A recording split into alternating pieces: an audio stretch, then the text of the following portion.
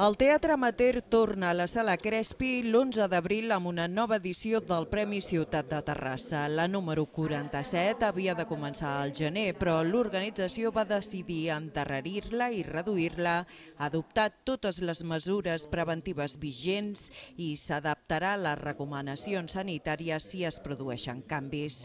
L'objectiu, diuen, és mantenir l'esperit viu i superar la situació. Doncs intentem mantenir l'esperit la flameta encesa i passar aquesta espècie com de, de situació tan, tan especial que ens ha caigut a sobre, per dir-ho d'una manera.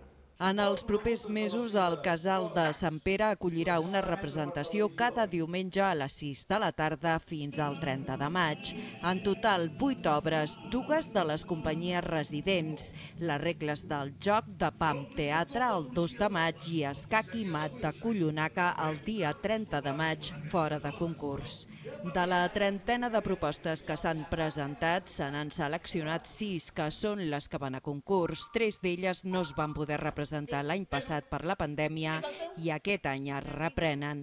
Una d'aquestes, en línia de Teatre Belllloc, és la que obre el certamen. És una comèdia, però les propostes són variades i per a tots els gustos.